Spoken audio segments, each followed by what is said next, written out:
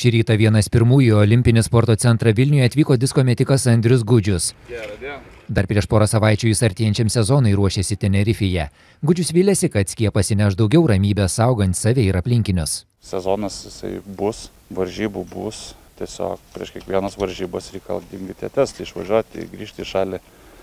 Ir žinote, jeigu bus kokių 20 varžybų per sezoną, tai gali ir nosies naujas prireikti paskui.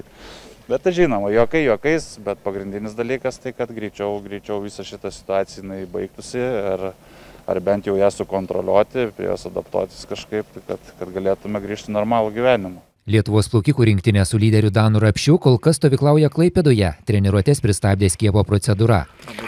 Anot Rapšio jis prieš priimdama sprendimą ar skiepytis aktyviai konsultavosi su medikais galvoju, ar čia tai reikia, o gal nereikia, bet, kaip sakom, vis tiek pasitikim tais profesionalais, tais visais mokslininkais ir mes jau čia tik tai galim galvoti, galim spėlioti, ir, o iš tikrųjų kaip yra, tai čia jau tie, kas jau tą dalyką dirba, tas ir supranta, tai tiesiog mes jau nieko, mes kito pasirinkimo vis tiek neturim. Po pirmąją AstraZenekos vakcinos dozę gavo ne tik plaukikai, lengvaatlečiai, imtynininkai, bet ir krepšininkai.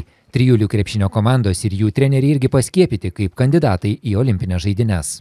Ramybė iš tikrųjų duoda. Na, tu, tu, tu esi tas žmogus, kuris toks jautiesi nu, patogiau, saugiau, tiesiog saugumas. Gyvenime žmogui psichologinis tas saugumas yra pats svarbiausias. Lietuvos olimpinės rinktinės lyderiai neslepia, dabar pasiruošimas sezonai įgauna pagreitį ir laukia daugiau varžybų nei pirmaisiais pandemijos metais preliminarus sezonas, tai aš manau vis tiek, kol kas toksai kaip popierinis, dar sakant, gegužės mėnesį turėtų prasidėti, o kaip realiai bus, tai matysim, matysim paskui jau ateityje, nes žinot, kaip ir pernai turėjo prasidėti viskas vidury vasaros, pradėjom rudenį tik tai sportuoti, nu, varžybose dalyvauti. Darom tą tokią jau sunkę bazę, tos varžybėlės tokios yra neremtos, o po to jau lauks e, Europos čempionatas ir tada jau tokios. Tai va, tai tos tokios dvi svarbiausios varžybos bus, o daugiau tai tiesiog tiesiog dirbam ir rengiamės. Tokį, taip slaptai, be, be, jokių, be jokių interviu ir tiesiog dirbam tą tokį nematomą darbą. Sportininkai nebejoja, Tokijo olimpinė žaidynė šiemet tikrai įvyks, tik nežinoma kokiu formatu ir ar tribūnose galės būti įstruolių, o prasidėjusi vakcinacija leis ramiau ruoštis varžyboms.